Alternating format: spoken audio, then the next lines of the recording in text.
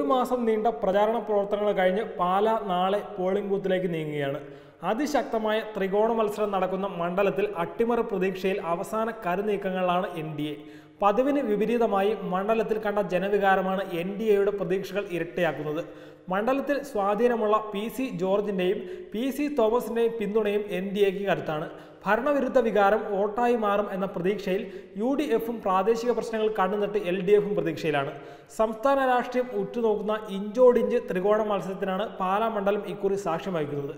കൃത്യം ഒരു മാസം നാടുകളൊക്കെ നടന്ന പ്രചാരണ പ്രവർത്തനങ്ങൾക്കും ദേശീയ സംസ്ഥാന നേതാക്കളെ അണിനിരത്തിയുള്ള പോരാട്ടത്തിനുമൊടുവിൽ സർവതന്ത്രങ്ങളും മെനഞ്ഞ് പരമാവധി വോട്ട് പെട്ടിയിലാക്കാനുള്ള ശ്രമത്തിലാണ് മുന്നണികൾ.